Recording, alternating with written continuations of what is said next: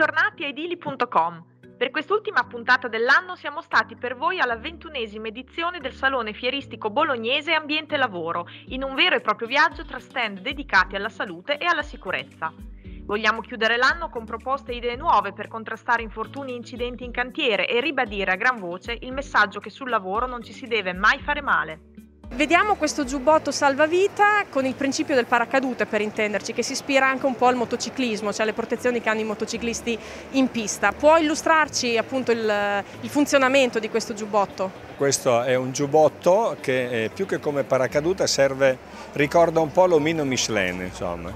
Serve, è un airbag eh, per l'uomo creato e messo in, uh, sul mercato proprio recentemente, grazie diciamo, lo stiamo presentando per la prima volta eh, alla fiera di ambiente lavoro insomma, di Bologna serve eh, per mettere in sicurezza contro oh, le eventuali cadute l'operatore che sta salendo su una scala per esempio all'interno di eh, un, un, impianto diciamo, di un edificio di, oppure di un cantiere eccetera eccetera oppure serve per mettere in sicurezza contro l'impatto, l'eventuale impatto di un operatore che sta lavorando in quota magari su una copertura legato ad un punto di ancoraggio o ad una linea vita e dovesse disgraziatamente scivolare e fuoriuscire dalla copertura, quindi con il rischio di impattare contro un ostacolo, per esempio contro oh, un, un terrazzo, per esempio, contro lo spigolo di un terrazzo.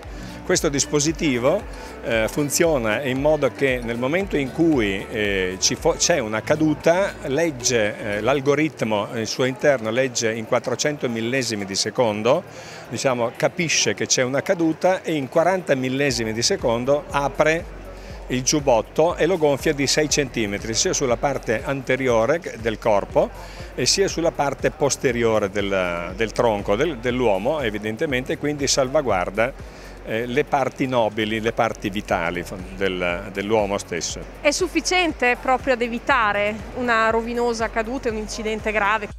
Questo dispositivo uh, è un dispositivo di sicurezza di seconda categoria, un DP di seconda categoria e essendo di seconda categoria necessita in, nel momento in cui ci si trova in un lavoro in quota necessita dell'utilizzo dell'imbrago che viene posizionato esattamente sopra il giubbotto. Insomma. Quindi questo eh, serve a evitare eh, diciamo, la, che l'operatore venga, cioè l'operaio, la persona venga eh, a, diciamo, ad impattare pesantemente contro un ostacolo, come dicevo prima, o contro il pavimento, o contro un ostacolo nel momento in cui ci si trova nel lavoro in quota.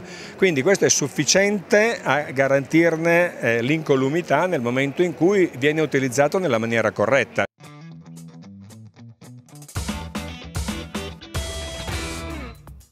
Questo attrezzo che stiamo vedendo sembra una scala ma è particolarmente accessoriata. Perché? In realtà esiste un'evoluzione tecnica de, de, della scala Pioli che è del, una delle attrezzature che nei cantieri eh, si usa da tempi antichi ovviamente che però è, è, una scala. In questo caso invece si tratta in realtà di, un, di una postazione di lavoro. Come vedete eh, c'è la, la, possibilità ovviamente di salire, quindi una scala a libro fondamentalmente, ma che diventa una vera postazione di lavoro.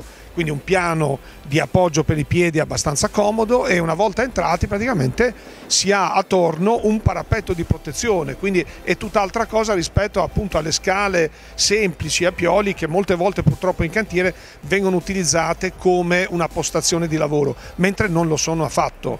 Stiamo parlando non solo delle scale semplici di appoggio, eh, quindi di una rampetta fatta appunto con una scala pioli che serve solo per superare un dislivello, ma anche quando le scale sono simili a questa, magari sono fatte a libro, quindi sono fatte in modo tale che aprendole uno può salire sopra, ovviamente, e fare delle piccolissime cose. Molte volte purtroppo diventano postazioni di lavoro dove la persona sta e lavora per un tempo molto prolungato, cosa assolutamente sbagliata e che porta ad insicurezza nel luogo di lavoro e purtroppo a un certo numero eh, di incidenti, a volte anche gravi.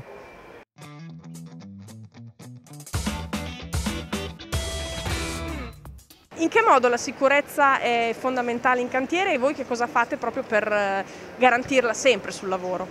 Uno degli aspetti principali eh, che dal nostro punto di vista è ampiamente sottostimato per garantire eh, adeguate condizioni di eh, sicurezza negli ambienti di lavoro, è quello della costruzione di una vera e propria cultura della sicurezza fra tutti i lavoratori e a tutti i livelli.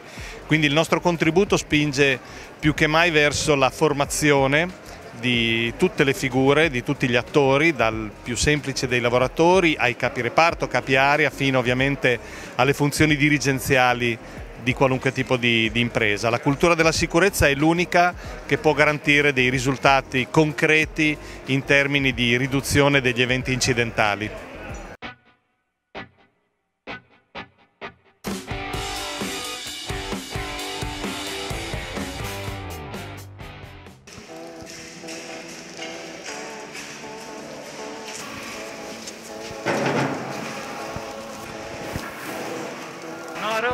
Cosa fai?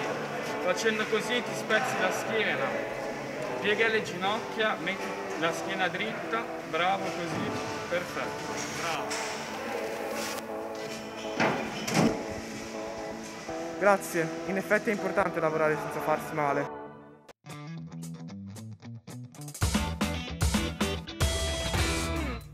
Parliamo adesso di esoscheletri e del loro funzionamento e del loro utilizzo in edilizia. È un sistema che funziona ad aria compressa, quindi non ha parti meccaniche, non ha parti elettroniche, quindi può essere utilizzato anche in ambienti dove c'è dell'elettronica eh, assistita che potrebbe dare dei problemi. È un sistema che pesa 3,8 kg, quindi molto leggero, si indossa come uno zaino.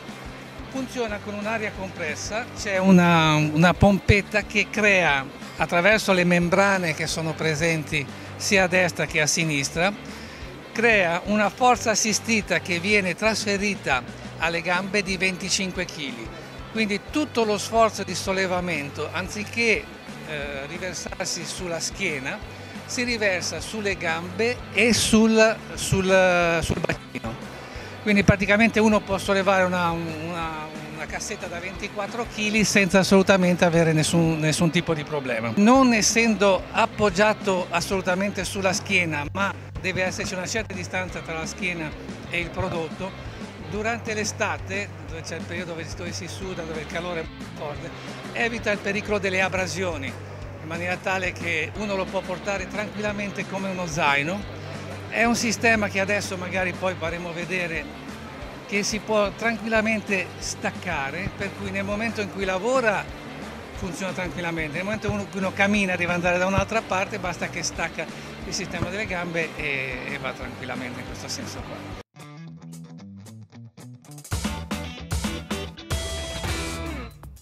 Nel mondo degli esoscheletri anche i guanti, come funzionano e come aiutano l'edilizia?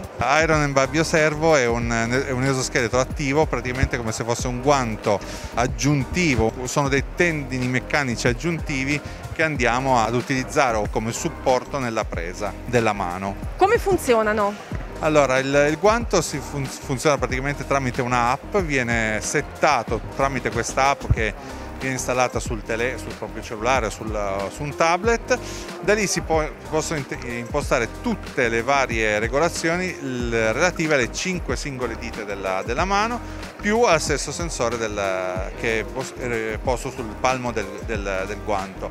Di conseguenza possono anche essere interconnesse le dita e il stesso sensore in modo da, da impostarlo per avere il maggior supporto sul, sulla presa da, da parte dell'operatore in base alle operazioni che deve fare e all'oggetto che deve mantenere. Diciamo che è, utili, è utile per, nel supporto del, nella presa nella mano per qualsiasi tipo di, di strumentazione. Ovviamente nel campo dell'edilizia può essere, facciamo, prendiamo come esempio un martello piuttosto che un badile o qualsiasi altro, altro attrezzo che comunque deve essere mantenuto sul, con la presa della mano.